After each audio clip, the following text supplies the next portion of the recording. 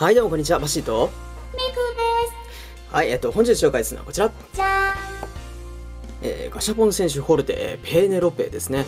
はい、こちらの方、プレミアムバンダイの方で、えっ、と、受け付けられてた、えーガシャポン選手のスペシャルバージョンですね。今回はペーネロペ1機のみで、えっ、と、これで3000円ぐらいですね。割と高いですけども。えっ、と、前回ですね、ガシャポン戦士 F の方で、えっ、と、こちらですね、えークシーガンダムとその他のグスタフロール、グスタフカールだとか、えメッサーですね。メッサーなんかがラインナップに入ったんですけど、ペーネロペだけはプレミアムバンダイの方ので限定地中の方で、え生産されてましたね。はい、本日こちらの方をレビューしたいと思います。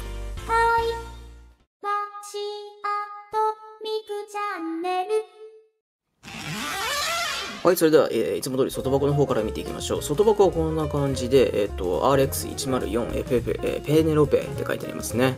はい、で、横面がこんな感じで注意書きで、えっ、と、縦がこんな感じ。もう一つの横面が、えっ、と、もう一回で RX104FF ペーネロペと書いてますね。ガシャポン戦士フォルテ EX01 と書いてあります。はい。で、正面こんな感じで、ペーネロペがいますね。はい。で、裏は何もなしと。うん、なんか実にシンプルな箱ですけども、プレミアムバンダイっぽいですね。箱の感じが。はい。ではちょっと開けて中を見てみましょう。はい、開けると中にはこんな感じに入ってました。すごいですね。もうパーツがみっちみちっすよ。うわー、これ組み立てるの大変そう。はい。で、まあこんな感じにいっぱい入ってるんですけども、えー組み立て図が入ってましたね。はい。えー、とちなみにサイコガンダムですね。EX02、えーガチャポン戦士 EX02 サイコガンダムがプレミアムバンダイにて予約受付中だそうです。はい。サイコガンダムは買う予定じゃないんですけどもやっぱりペーネロペ欲しかったですね。はい。で裏面がこんな感じ。裏面はオディセウスガンダムとフィフィックスドフライトの、えーフィックスドフライトユニットの組み立て方が入ってます。えっ、とまあペーネロペは、えーフィックスドフライトユニットとそれからオディセウスガンダムの2機で、えー、と編成されますね。その2体が合体してペーネロペになってます。劇中ではあのまあ、ペーネロペがメインとして活躍することが多いんですけどもはいまあ、こんな感じにちゃんと再現できるのがすごいですよね。はい。ではですね、とりあえずオディシスムガンダムとそれからフィックスとフライトユニットそれぞれ、えー、と組み立ててから、えレビューしてみたいと思います。じゃあ頑張りますかね。じゃじゃ。はい、完成しました。オディセウスガンダムと、えーフィックスフライトユニットです。はい。えっ、と、オディセウスガンダムはいつも通り、えーと普通のガシャポン戦士と F の材質なんですけども、えーフィックスフライトユニットですね、は、なんか普通のプラスチックみたいで、あの材質が違うんですね。硬いんです、こっち。はい。ちょっとびっくりしました。はい。ではちょっとオディセウスガンダムから見ていきましょう。オディセウスガンダムはですね、えっ、と、アナハイム社の20周年記念モビルスーツとして開発された試作型モビルスーツですね。はい。まあ、正確には、えっ、と、ペーネロペっていう機体自体が、えっ、と、20周年記念で作られて、後の SE ガンダムですね、に、えっ、と、オディセウオディセウスガンダムと、えーフィックスドフライトの2人に、2つに分かれるっていう設定が追加されましたね。小説版ではペーネロペのみです。はい。まあ、いろんな作品に出てるガンダムですけども、えっ、と、ガンダム VS ガンダムシリーズでは、えっ、と、機能が低下すると HP が、えー、とゼロゼロっていうか、まあ、少なくなると,、えー、とここのフィックスフェイトフライトが取れて、えーオデュッセウスガンダムのみになるっていう設定でしたね。なかなか面白い設定だと思います。はい。でですね武装は、えー、とほとんどあの再現されてて、えー塗装面はちょっと気になるところがいくつかあるんですけども造形は非常に綺麗ですね。はいぐるっと見ますしてみるとこんな感じです。武装が完全再現なのはいいですね。ただ、えー、と足の部分の塗装がちょっと寂しくてですね下半身がなんか白いんですですね ここだけちょっと寂しい感じがしますはいなんですけども、えー、と基本的な造形は非常によくできてて顔の造形なんかも綺麗ですねうん塗装面も割といい感じですね。で、ビームライフルが付属してきます。はい。ちゃんとサーベルもついてくるので嬉しいですよね。ビームサーベルはちゃんとクリアの、えパーツで生成されてて、えーと付け替えができます。よいしょっと。はい、こんな感じで取れますね。で、シールドとして、え機能することもできますし、えサーベルを挿してサーベルとして、え機能することもできます。かっこよくていいじゃないですか、オーディセンスガンダム。はい。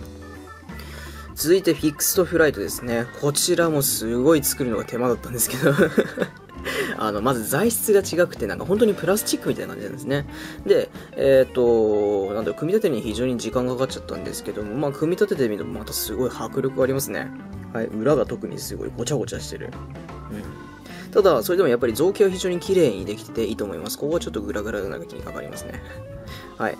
で、えっ、と、あと真ん中の部分ですね。真ん中の部分がちょっとつなぎ目が見えちゃってるので、ここの部分をすぐ取ろうと思えばパッと取れます。なので、これ多分落とせばすぐバラバラになりますね。ただ、えっ、と、塗装だとか造形だとかはやっぱり非常に綺麗にできてますね。時間かけたことがありと、あると思います。はい。ここに、えーオディセスガンダムが、えー装着して、えペーネロペになります。大きさがすごそう。では早速組み立てたいところなんですけども、オデュッセスガンダムのオデュッセスっていうのはギリシャ神話の、えー、と英雄だそうで、まあそういった名前ですね、ギリシャ神話の名前が使われるガンダムっていうのは非常に珍しいですよね。はい。で、ペーネロペはそのオデュッセウスの妻だそうです。で、合体してペーネロペになるので、うん。なんか面白い設定ですよね。はい。では続いてですね、えペーネロペの方を作ってみたいと思います。ペーネロペはオデュッセスガンダムに、えこちらフィクストフライトのユニットをつけて、え完成します。でですね、えっ、と、よいしょ、こちらの方が予備パーツとしてついてきました。はい。これは、えっ、と、どちらも同じなんですけども、えー肩の部分のパーツですね。オーディセウスガンダムのパーツパーツが組み込まれてて、えーこちらの方は、え予備としてくっついてきました。なんか、あの予備としてお使いくださいって書いてありました。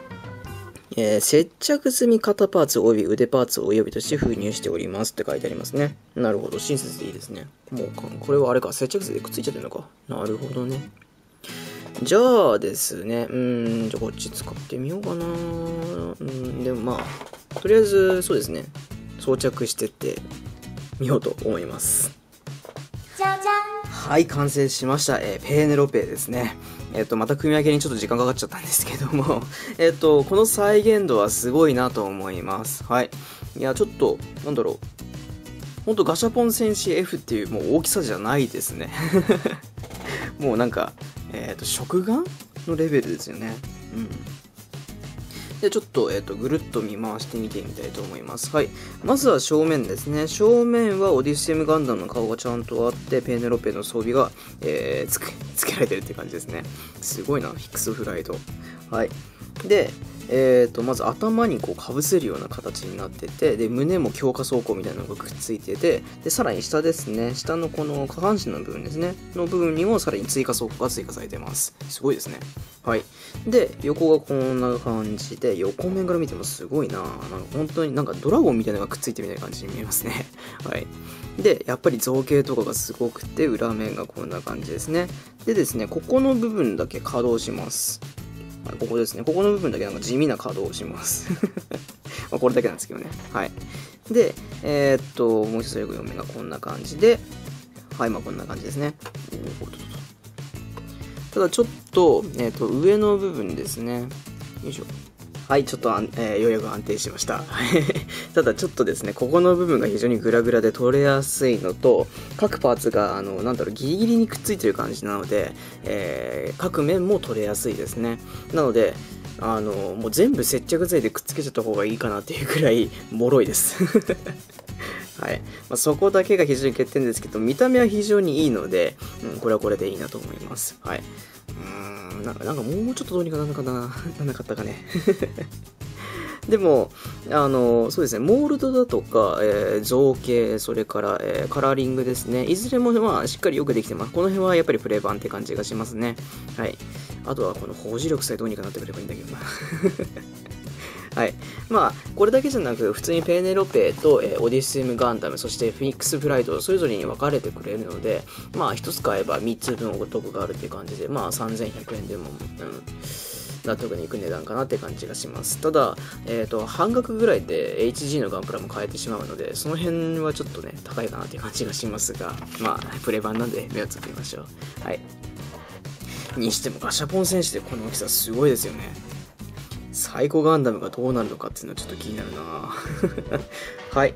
ではそうですね、せっかくなので、えっ、と、ペーネロペも来ましたので、クシーガンダムだとか、えっ、と、メッサー、そしてグスタフ・カールもいますので、えーちょっと並べて、えそうですね、写真撮ってみたいと思います。はい、まずはですね、えーグスタフ・カール2機と、それから、えーペーネロペ並べてみました。こんな感じになりますね。結構いいと思います。うん。ペーネロペが巨大さもああの巨大感もあってですね、えっ、と、そうだな、やっぱりエース機って感じがしますね。やっぱりグスタフ・カールと並べるとですね、えっと、先行のハサベイの日本、えー、連邦軍ですね。連邦軍の、えっと、再現ができるので、これは嬉しいですね。やっぱりグスタフ・カール2期をして世界やった。はい。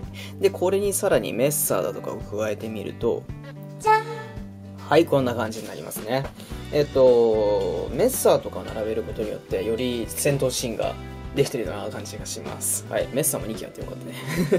では最後ですね、えっと、ベネロペとクスイガンダムの対決シーンちょっとやってみたいと思います。はい、ちょっといまいち、あの、迫力がないんですけども、クスイガンダムとペネロペ、えっ、ー、と、銃撃戦になるとこんな感じかなと思います。はい。できればそうですね、あの、ファンネルミサイルだとか、そういうものもあるので、そういったものもちょっと付属してもらえば嬉しいかなと思いました。はい。これだけだとちょっと寂しいですよね。あとそうですね、クスイガンダムの方にビームサーベルがないので、ビームサーベルもちょっと用意してほしかったなと思います。ビームサーベルがあればですね、格闘戦ができたんで、僕ガンダムはやっぱり格闘戦の方が好きなんで、ビームサーベルビリビリやってるのね。ああいうのが好きなんで、まあ、ビームサーベルが付属してれば、ペネロペの方にはビームサーベルありますから、えー、まあ、そういった格闘戦ができたのかなと思います。はい。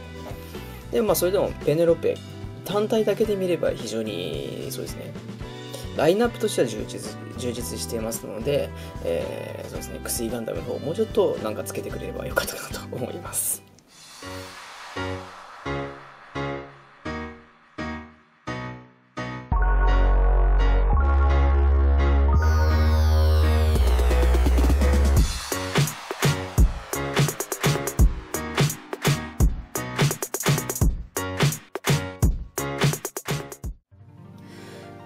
はい、というわけで、えー、ガシャボン戦士 F、えー、EX01 ペーネロペーの紹介でした。えっ、と、造形と塗装は非常によくできてて、えっ、と、プレ版っぽい感じがしましたね。はい、買ってよかったと思います。はい、ただ、えっ、と、パーツが非常に取れやすいっていうのが、これが非常に欠点ですね。後でそうですね、飾るときは、あの、接着剤か何かでこう、各所をくっつけた方がいいのかなという感じがしました。はい。まあ、えっと、予備パーツとしてですね、一応肩にパーツがくっついたものもくっついてるんですけども、えー、足のパーツが取りやすかったりとか、その点もいろいろありますので、そうですね、あのーえー、フィクストフライトとか気にしないんであれば、もうペネロペに、ペネロペに直接くっつけちゃうっていうのがありかもしれませんね。個人的にはオディシウムガンダム結構かっこよかったので、オディシウムガンダムとそうですね、フィックストフライトでどっちに分けて、まあ、飾りたいなと思います。はい。はい。えっ、ー、と、あとそうですね、クシーガンダムとの大きさと比較してみても、まあ、劇中再現ほぼ劇中再現の大きさなので、これも結構、えー、そうですね、点数として高いなと思いました。とても良かったと思います。はい。そうですね、今後、まあ、ガシャポン戦士 F でこういった限定版のものが出るんであれば、えー、そうですね、まあ、自分の気に入った機体だけ買ってみたいなと思います。はい。というわけで、ガシャポン戦士ホールテ EX01 ペーネロペの紹介でした。紹介したバシーとミクでした。はい、またねまたねミクとバシーからお願いが？あります。はい、えっと、チャンネル登録と動画の評価をお願いします。Twitter もやってますので、ぜひフォローお願いします。それでは、バッシーとミクチャンネルをお願いします。